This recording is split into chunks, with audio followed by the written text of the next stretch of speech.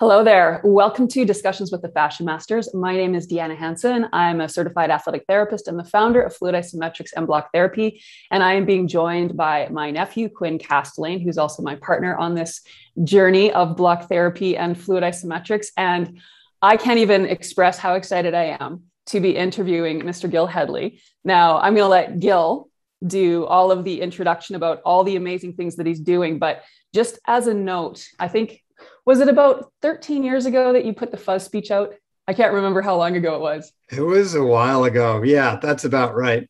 Yeah, so I was re- I was working with therapists at the time, and I was teaching fluid isometrics. Um, and one of my massage therapists said, "You have to watch this video by this anatomist Gil Hedley." So I watched it, and I was absolutely blown away because it really brought to light what we were feeling inside the body and the absolute chaos that the fascia can be and the the tensions that actually exist inside the body. So it helped us explain what we were feeling beneath our fingertips and it was just so impactful for us. So gil thank you so much for joining us and if you can just share your journey and all about you and whatever you'd like to say that would be wonderful and then we'll dive into the world of fascia together. Well thank you so much deanna and Quinn for having me on for a chat. And uh, I can tell you this much I've learned a lot since I did that little clip. Uh, actually, filmed that in 2005. Yeah. And I've been telling that story for about 10 years. And I never told it again because I, I was like, wow, I recorded it. I don't have to say it anymore. Uh, so then I, I developed my thought considerably since then, and hopefully in a way that refines it and makes it even more useful as a, as a guide to, to movement um, strategies for helping people, you know.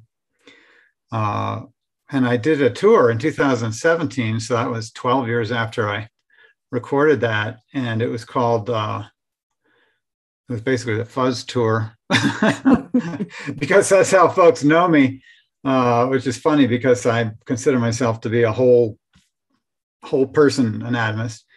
But um, folks enjoy that so much. So I did the fuzz tour, and it was basically called "What's the Fuzz?" You know, exploring fascia, healthy movement, and it took me four hours to unpack those five minutes.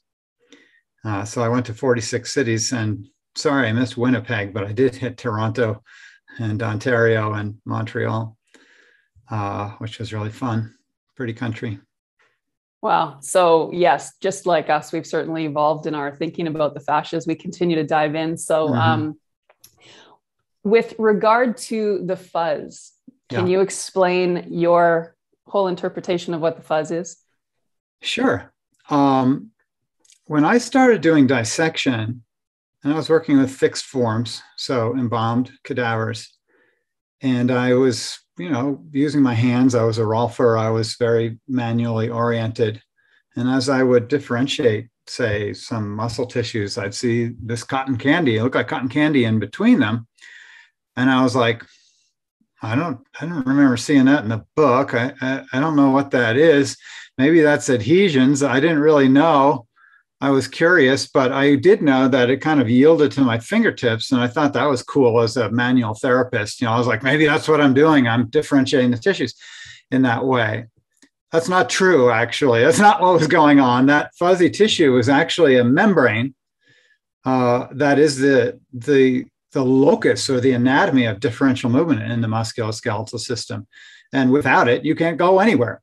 Um, and when it's dried out and you tear it apart, it looks like cotton candy because the the the structure of the collagenous matrix of the tissue is chaotic and felted as opposed to highly uh, regularly organized as you see in the dense regular fibrous fascia say the IT band where everything is like uh, you know all lined up in in in long thick strands that cross purposes to each other and looking very orderly. So the, the disorder of the of the fuzzy tissues, or this what I came to call filmy fascia after about 10 years, the disorder of that wasn't disorder at all. It's just the order of it is felted as opposed to um, regular arrays of tissues that cross purposes to each other.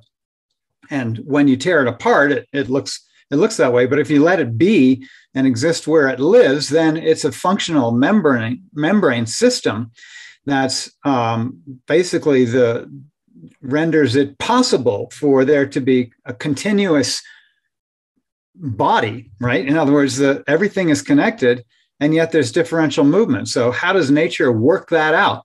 Nature works out differential movement in a continuous system by having some tissues be highly organized and some tissues less organized. Uh, and the less organization allows for play between the more organized tissues. So, wherever we have differential movement in the human form, we have that fuzzy stuff. Uh, which in fact in the living form is super hydrated, wet, transparent, um, and and highly highly functional. You don't want to get rid of it. You can dissect it away, and that's really fun.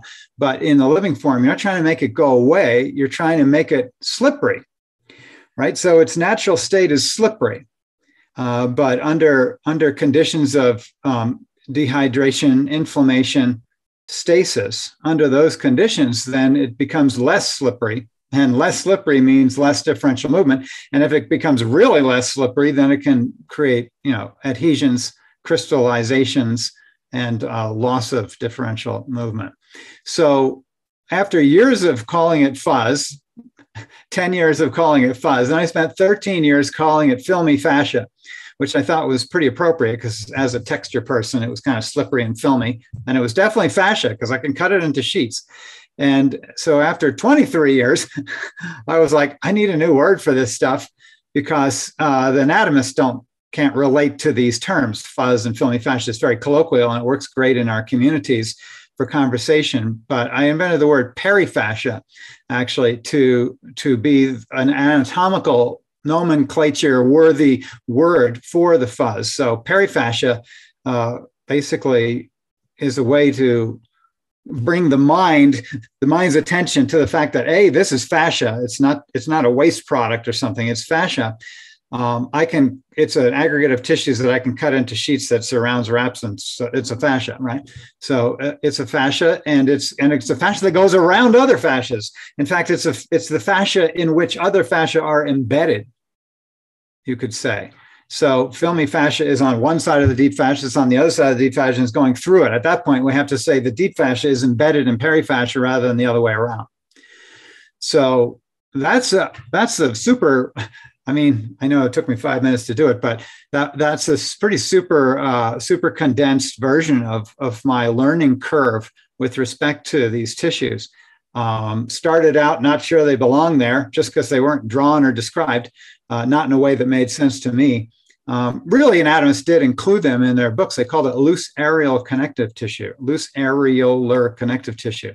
And loose areolar connective tissue turns out not to be so loose and not so areolar as you might think, because I can cut it into sheets anywhere in the body over and over again on camera, reliably. It's there that deserves our attention because for movement people, if that's the locus of differential movement in our musculoskeletal system, we darn well better know that if it's not in in in its wonderful slippery state, maybe we should use that as a consideration for why we're not having beautiful fluid differential movement.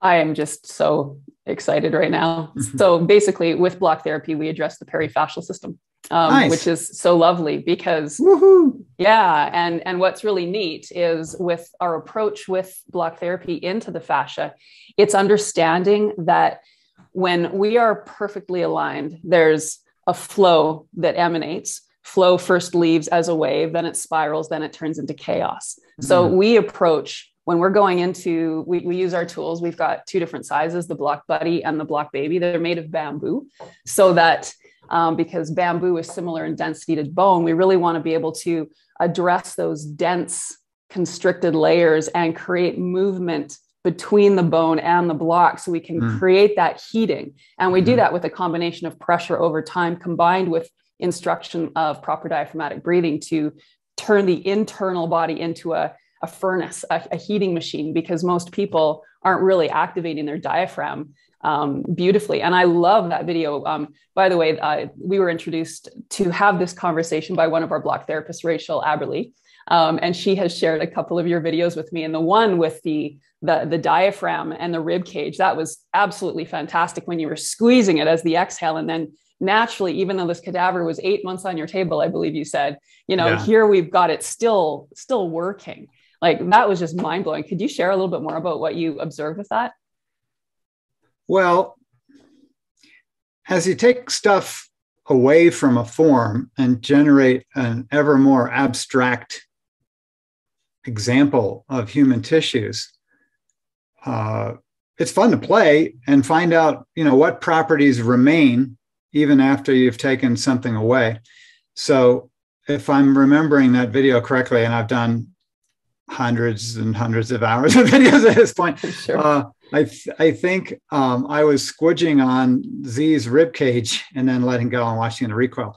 So a lot of that is coming from the rib heads, right? And and the the still remnant elasticity uh, in the rib heads because I had taken all the musculature away at that point, if I recall.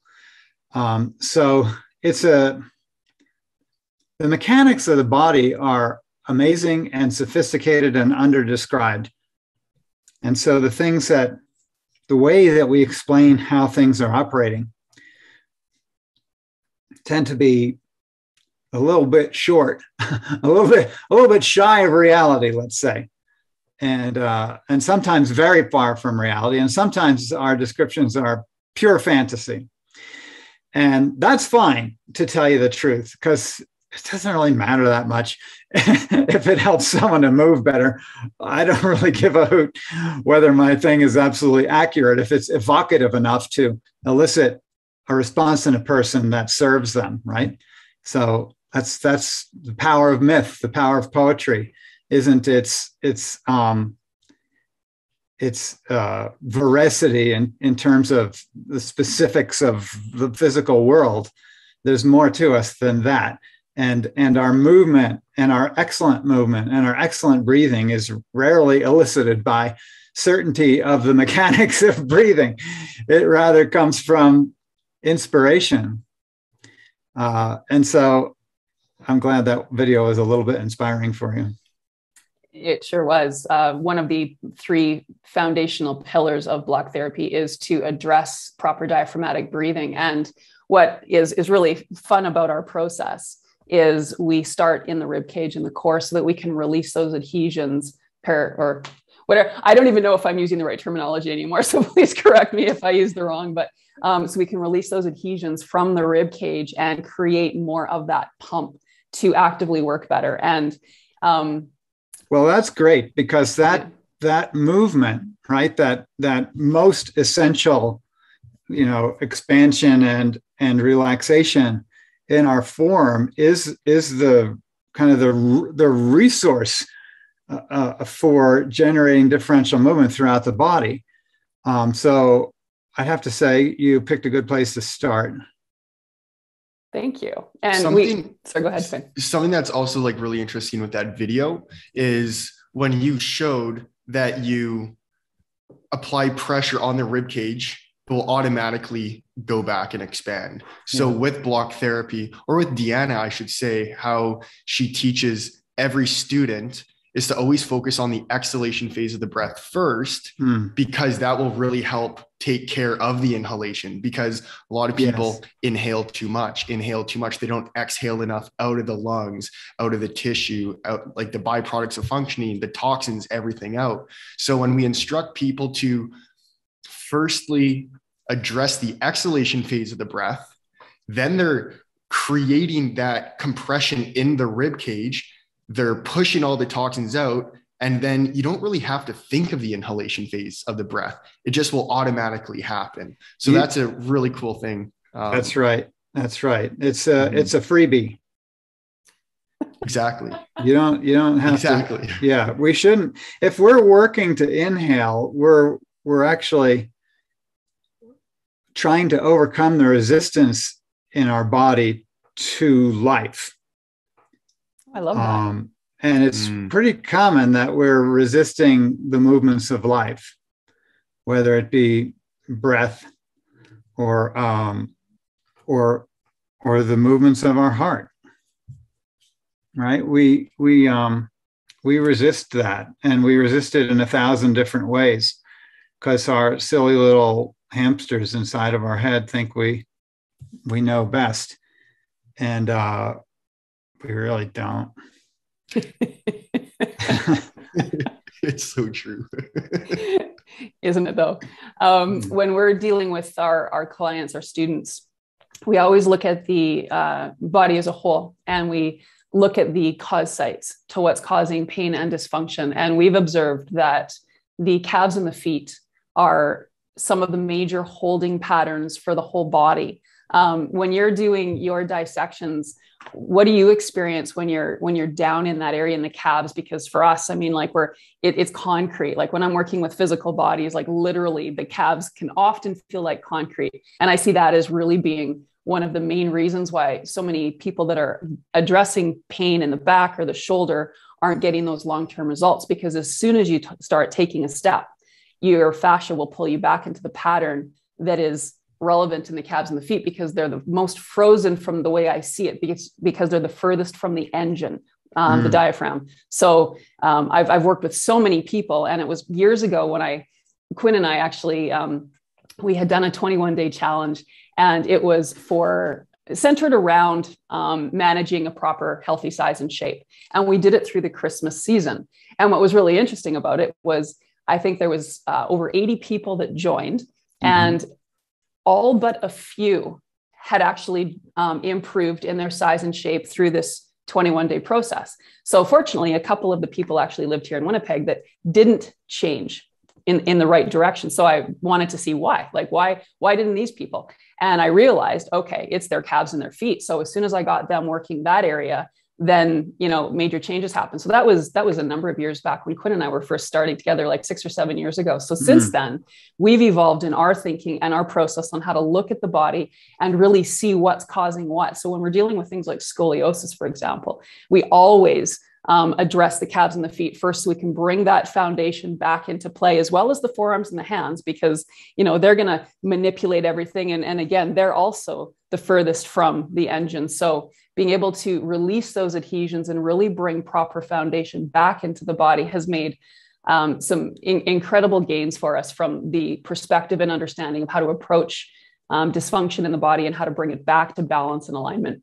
Mm. Well, you sound like y'all are are working your way into some of um, what Ida Rolf uh, also discovered. You know, because she started with the breath and often in, in her facilitation of the breath, she'd work the forearms. And then that, that was the first session. And then you go on down to the feet. so it's funny. It's it's it's wonderful to hear that echo because um, oh my gosh, this, that echo. I, am so sorry. Yeah, that was Ida Rolf. That was timely. yeah, from beyond. Um, I got that little button clicked now, so we should be good. But uh, so in the in the laboratory, you know, in the cadaver forms, well, it's just a given that the the the lower legs are very heavily wrapped. You know, it's a pretty sturdy fascial system. You know, below the waist is quite different than above the waist in terms of the in terms of the the way the fascia forms. Um, so certainly a rich a rich place to work, and I I no doubt, as you as you've said, it it works out that way. But I can't really, I don't, I don't see what you feel in the same way because uh, remember the cadaver, whether it's fixed or unfixed, meaning embalmed or not embalmed, is is a liar in many ways, right? In other words, it's not a person it's a it's a model of a person and and a reduction an abstraction. The breath is completely gone. All the movement is is gone. And sometimes stuff like in the case of the embalmed bodies something's been added that's changed the texture of the tissues. Now i'm kind of a i mean after all these years i'm pretty good at reading those changes and being able to kind of pull from what I'm seeing the artifacts of the processes of death or embalming and distinguishing those from what was that person's anatomy or a variation. It's like if you're running in the woods and you see broken twig and you see some scat and you see some hoof prints, uh, you know, you can deduce a deer uh, to a point of great accuracy. You know, you can even know something about the deer, you know, what's how big it is or its health status. You can deduce those things from those tracks and evidence that you see. And you can say, oh, that person's living in fantasy. They're crazy. They imagine some big animal, and all we have here is some dirt and some berries and some broken twigs. But sure enough, you know, a few paces down, there's a deer. It's kind of like that in the dissection lab. I'm looking at tracks. I'm looking at the tracks of a life. I'm, I'm reading someone's diary as left in a footprint or literally a discarded shoe. You know, you can, if you took my shoe, you could learn a lot about me if you knew anything about gait and weight and nutrition, even from the stank of my shoe. You know what I'm saying? So you, so I don't see quite, I don't get the privilege that you have working with the living of, of feeling their, their life force present or or or withdrawn in the living form or i don't get to see the the limitations of movement that come from say pain or pattern in that in that given person that you can that you see in the living but you don't see in the dead because there's no muscle tone in the dead body. There's no anxiety about moving the shoulder a little further because you've gone past the pain threshold and that you know, you could take a little old lady's arms and go, woo, you know, uh, in an unfixed form and think, oh my God, she was Gumby, you know, she was uh, she was a gymnast, she was a contortionist, you know, but none of that's true. None of that could have happened in the, the living form in that exact same set of tissues. Uh, and you do see, you know, absolute limitations on tissues in dissection uh, that you can be like, yeah, that wasn't going anywhere past there. Um, when there's certain scarring or or bony formations or metal plates holding things from here to there, all the sort of thing that you see. But but the real experts uh, in in witnessing limitations of movement are you, you know, people who watch the living folks in movement and see the emotional content of those restrictions as well as the physical ones and then work with that.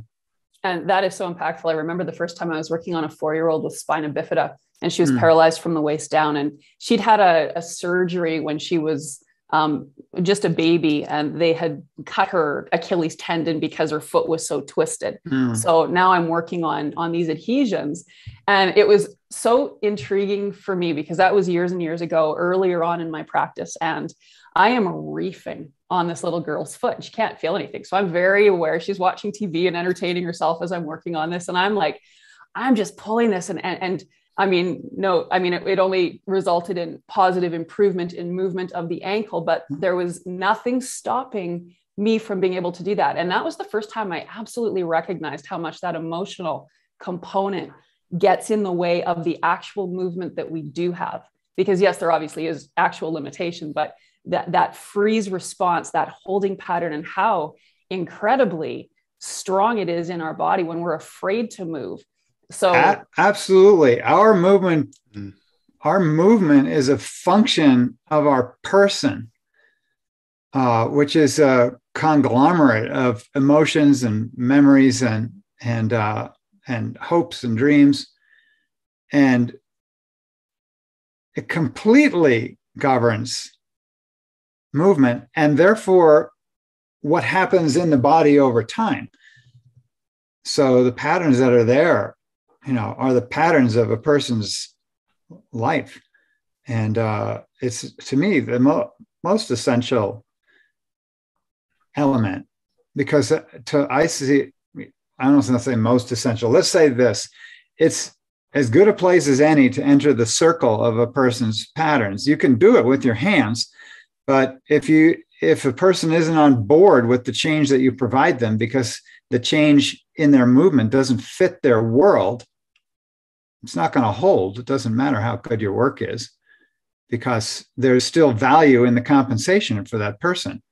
Until they no longer value the compensation or have need for it, they're going to they're going to use it and and recreate the pattern and that's part of what we what i'm so excited with uh, our the response that we're getting with the people doing block therapy because a you're choosing to do this it's not a therapist putting their hands yeah. in your body you are literally encountering this and it, for us it's all about teaching people to search for pain so we teach them to um, take fear out of the pain fear cycle mm. and to actively go into the pain and when you're on the block you're on there for a minimum of three minutes as mm. long as your breath allows and and the position. rule of the rule mm-hmm. is as long as you can breathe in a relaxed way, it's going to feed and heal the tissue. If something hurts so much that you can't connect to your proper breath, that's yeah. your body saying this is too much and we need to back off. So then we mm-hmm. can show variations. But the time in and then the very, very slow, controlled movement, those, those pressure fibers override those pain fibers. And then people can dive into those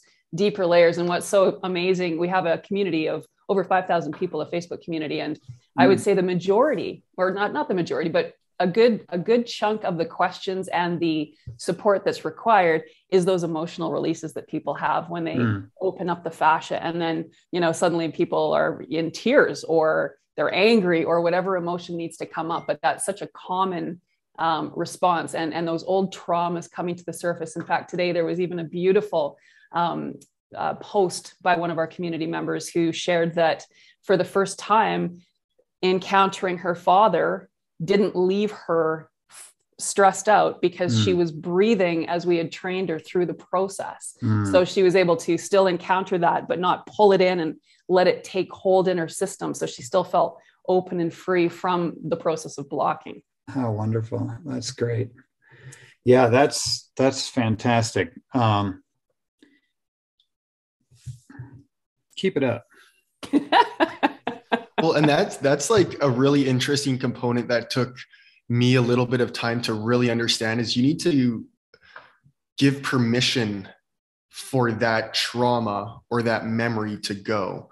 So you can do block therapy and watch a show and kind of just be nonchalant about it which is which is great you're still going to get a benefit but if you're really in the practice of doing it and you're connecting with the pain and then you feel an emotion come up because there's so many different kinds of pain that you experience on the block mm-hmm. like some that are just undescribable and they're all going to be unique to each individual so pain is pain and we have to understand that's part of being human and that's connected to the emotion, the past traumas as well. So when we are on the block and we connect to something and find something really unique, and it might bring up frustration or fear or massive anxiety, you have to exhale that out of the body. You have to give it permission to leave. So that's why we always really focus on that exhalation phase of the breath. Mm-hmm. And if it's just too intense and too overwhelming because you're getting really deep, ease off. It's not a process of rushing, it's a process mm-hmm. of melting. Mm-hmm. And, and we use the term melting as we release, but you're like opening up new layers in the fascia where we do believe emotion, trauma is stored and then you have to give it permission to leave and you have to want to change because if you're just doing it like Deanna, you explained it perfectly. Like people aren't going to see someone to work on them. They're making a conscious decision to heal themselves. So you have to really accept that process. And that is where I really see the magic happening. And not even just from an emotional perspective, but from just making change, even posturally or even with scoliosis, because scoliosis, how much trauma is going to be trapped in somebody's body who's been living with scoliosis or severe scoliosis for a year, 5, 10, 20, 30 years? A lot. So it's going to take time. And that's why we always say you have to go at your own pace. Mm-hmm. You have to find the pace that works for you. And that's kind of like we put the power in your hands, right? And that's it's been really cool to see because the more you do this, the more you realize like you just keep getting deeper and deeper and you understand your body more and more. And it's just a never ending process, which I love Deanna and I both love that because we never want just an end game. We always want to keep exploring more of the body. So it's been a really cool journey, just exploring your own body with block therapy. You sound like Somanauts to me. Pardon I was me? just gonna. Oh my gosh, I was just gonna say uh, Somanauts, like uh, oh. inner exploration, and, and our, yeah. our first pillar is creating space. So we create the space that's been lost over time because over time gravity compresses and manipulates, and we wind down, and then we get those hard adhesive areas that you know there's so little flow and it's it's neat we had done a one of these discussions with dr eric robbins who's in our community and he also does tre and he was saying that because now he's combining tre with block therapy because we address the calves and the feet he feels that's the reason that they're having so much more success getting the trauma out of the body. Because prior to that it, it's, it's a holding point it's a sticking point for that flow in and out of the body. So to be able to open up that flow create the space with the breath inflate the space and then through postural education that we share with our programs maintaining that internal space our goal is to make sure that every single cell in the body is where it's supposed to be as opposed to being pulled away from its home and the further it's pulled away the more the more pain until there's no pain because there's really no life left in that tissue in that living body but we mm-hmm. can bring it back by releasing those adhesions, engaging the breath and the blood flow and oxygen into that space, and then bringing it back into use through through the process of just understanding how to be like the building. You know, make sure that your your foundations and, and everything is where it's supposed to be while you move properly. And isn't it amazing that we weren't ever trained in any of this? Like nobody really ever taught us how to breathe. I mean, you'd think it would be the most natural thing, but um, it, it's it's not. I I think it is the most natural thing, but what's not natural is our resistance to it. And so, although maybe that's natural too, because we're all doing it, but I mean, if you're in fear and you're expecting to be hit, for instance, or whether emotionally or physically, and so you, you know, squeeze your abdomen, your rectus abdominis, like in preparation for a blow. It's literally like putting a dumbbell on your breath, right? You're, it's a weight. It's like an anchor. It's pulling down on your rib cage and disabling that that that natural expansion that happens uh, that would happen effortlessly if it weren't for the emotional resistance to it or if you're having an emotional reaction to something and that's your solar plexus right there you can lock it out of fear, or you can lock it out of resistance to expressing that because the culture doesn't permit it at that time or place. I'm in a library, I'm online at the supermarket, and suddenly I'm overwhelmed with emotion. In our culture, we don't just like have a breakdown and start sobbing on the person in front of us in the grocery line. We we block it and hold it. And then it's like, oh, well, there's really no time while I'm taking the kids to the baseball game either. So it's not going to happen now. And you can put these things off for a decade you know mm-hmm. and and and create a, a permanent pattern so i think that breathe i think i do think breathing is the simplest most automatic. It's a it's an there are a few things in our bodies that are free gifts right? The, the breath cycle the rhythm of the heart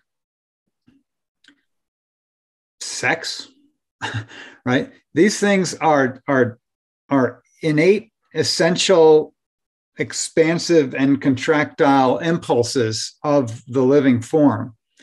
That's just like the gift, right? Also, I would add levity. So the the not gra- not gravity, but levity. The the the natural orientation of the viscera stacked over each other in such a way that the pressure differentials generate a sense of lightness and buoyancy in the whole form in a biped.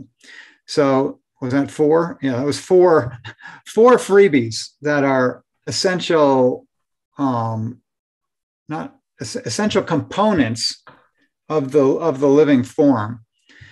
And then in every conceivable manner, we resist all four of them with our social constructs and our our fears and our way of relating in the world. And society and our communities, our, our, our forms of spirituality and, and our family structures all create where we move where we breathe, where our hearts beat, the context of our sexuality, the context of our bipedality as a light being. Because sometimes it's, it's like where you see your grandmother and it looks like she's bearing the weight of the world upon her shoulders. And then your mother looks kind of like that too. And then, oh, turns out m- me too, you know, and, and we're all kind of carrying the weight of the world on our shoulders. Well, you know, it wasn't placed there by anything but your perception of the world. And so we're we're born free, uh, and we have these elements, and then we we work against our our own gift of of freedom. I think. Um, and so I love these kinds of explorations that you're describing that you're doing, um, especially with the self-directed character of it. So a person can choose to be free again, in a sense, relative to the constraints and constructs and social forms that have generated that body in that way and those compensations, which you know may at certain times be functional and serviceable, but don't lend themselves to the full expansion of the human. Absolutely, I love that. When I was in uh, yoga teacher training years and years ago, um, one of the things that I learned that really stuck with me is that we're born in this lifetime with a signature posture. And the goal of this lifetime is to break through that signature posture. And I see that the signature posture is really the breathing pattern of the mother. We're, mm. we're born with her breathing pattern. So, whatever restrictions, adhesions is in her um, system, we are born with. And then we're pummeled with the rest of the world and manipulated from that point. So what's really exciting for us to see is that we're actually changing that breathing pattern and we're getting rid of all the things that come with that. I mean, we can see how the bunion is really created from the breathing pattern because that creates the off-centeredness, which changes the gait, which over time creates the mechanics to change. So we're, we're helping people bring their bodies back into that balance through changing that breathing pattern and opening up those spaces that were blocked because the breath simply wasn't able to get to those spaces. So mm-hmm. um, yeah, this is uh, so so grateful that you are here to share the light on the anatomy. We we don't dive into the anatomy so much. I really want people to keep their brain free of the detail and really dive into their body and feel and mm-hmm. not get caught up in the logic because mm-hmm. this isn't a logical process. It's it's literally taking time out of your tissue as you put the space back and mm-hmm. and and it's pretty profound in in what's happening for people. So um, and, and you giving us that structure of what's going on just really helps again like you did in the past for me really helps cement that what we're doing is, is we're taking people's bodies into those four things that you said we're, we're bringing the breath into a conscious form we're bringing that levity back into the body by putting that space there so that we can take mm. our bodies in an, an effortless effort form rather than pulling the body with gravity tugging on us with all these mm-hmm. anchors and roots holding us back Mm. And then from there, you can enjoy things like sex. We even, oh, I just have to share, we did, last month we did an all things pelvic floor series. Awesome. Yeah. And Quinn and I were doing this side by side. And um, I do think it's easier for women. Um, but it was just quite comical because the adhesions, of course, at the base of the core, they're they're pretty intense, and there's a lot of nerves there, so it can be pretty painful. So um, our whole community was in laughter. wasn't it wasn't easy for me. I also have a, a bodybuilding background, which caused a lot of adhesions, compression, um, and that was also when I was definitely angrier in my past. So a lot of stored anger trapped in my tissue as mm-hmm. I'm creating density in the body. So imagine all the deadlift squats and bent over rows where the pelvic floor, the perineum are is always under so much pressure. So that was by far the most painful experience, but one of the most profound changes I've felt. Mm. And I just felt al- aligned, grounded, just shifts throughout my entire body. Mm. Like it was really cool, but it ended up turning into a comedy skit for many people because they're just laughing at my pain. but it's good to laugh at it. Well, I can certainly relate to that. I was one of those bodybuilding, weightlifting types in my youth, and uh, certainly generated a whole gaggle of problems that I'm still working out. Mm-hmm. Um, but the uh, there's also we've talked a lot about pain, but there's also um, pleasure and increasing our tolerance for pleasure, right? As we we can all you can sit around and talk about pain all day long, and everyone's like, yeah, yeah, you know, um, little old ladies get together over tea and and and and talk about pain, and that's totally legit. But how often do they talk about the quality of their orgasm? Probably not as frequently, right? We have our own cultural resistance to pleasure, and we disapprove of it actually on our continent.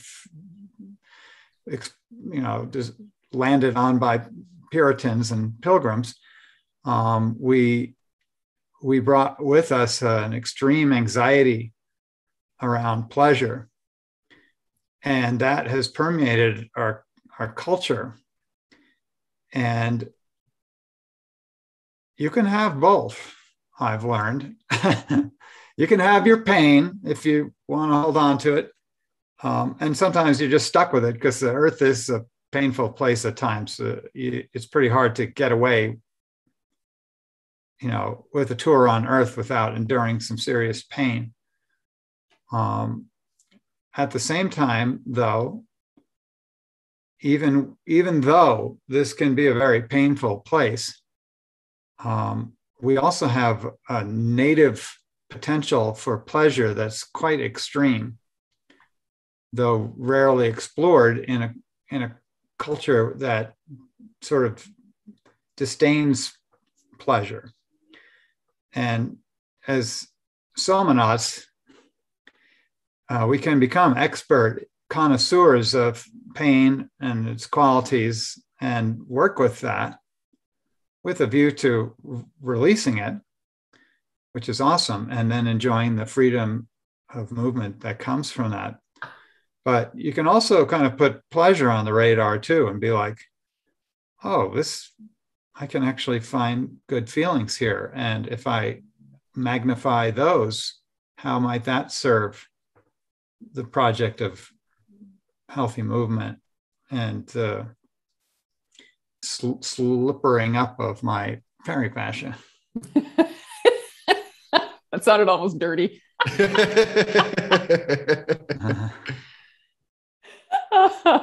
oh, that's great. I I often uh, you know cross the line talking to Quinn about there's certain things, and um, yeah, we, we've had some funny conversations around that. But absolutely true. Like people people just you know pull away from that whole concept of talking about pleasure, and uh, I do think that's a very understated conversation that we should be having and and maybe if we change the that in itself we'd be smiling a lot more yeah. I, I do i do love your fuzz speech when you were talking about like the monk like the expressions and and you know you, you hold on to that expression long enough and it actually becomes like that's part of your face. So oh, yeah. your mother was right it. your mother was right.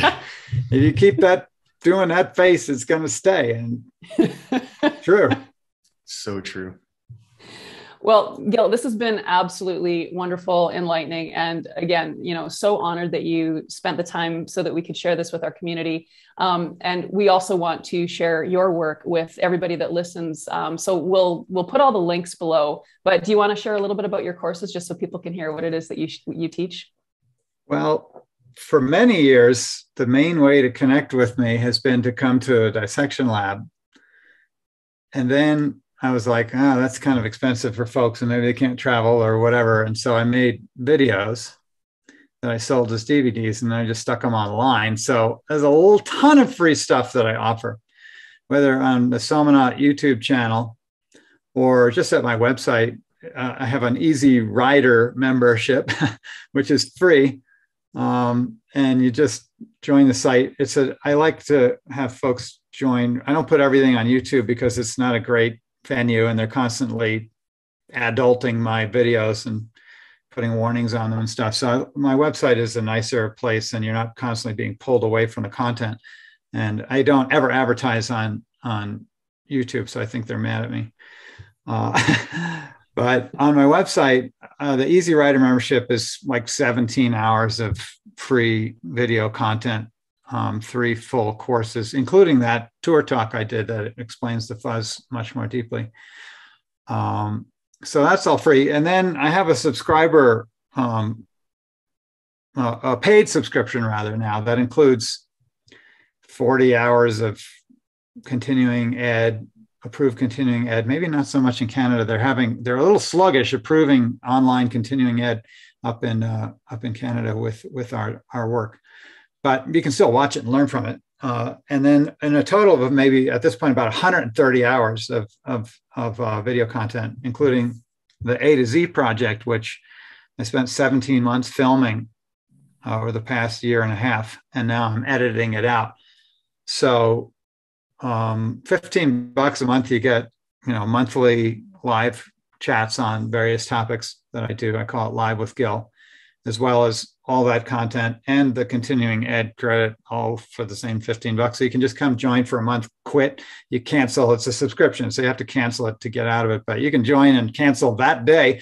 and binge watch for a month. That's fine with me. I don't care. Um, and you will literally yeah, you will. There's a lot of stuff there and a lot more coming. I have about 160 hours of, of already shot video in the can on the AZ project where I went through the entire human body on camera, two bodies, and I follow them from from scratch to finish. Like, I mean, it's thorough.